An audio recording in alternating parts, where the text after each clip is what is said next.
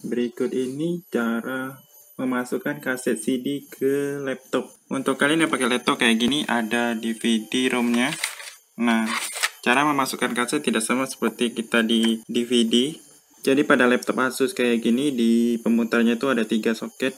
Jadi kita kalau cara memasukkannya itu harus memasukkan dua soket yang di sini sama di sini. Baru kita tekan yang ujungnya. Kayak gini saya contohkan.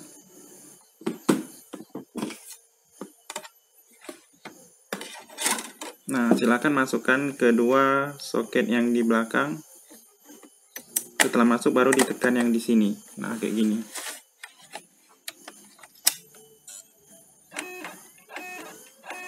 Jadi sangat mudah, silakan kalian coba.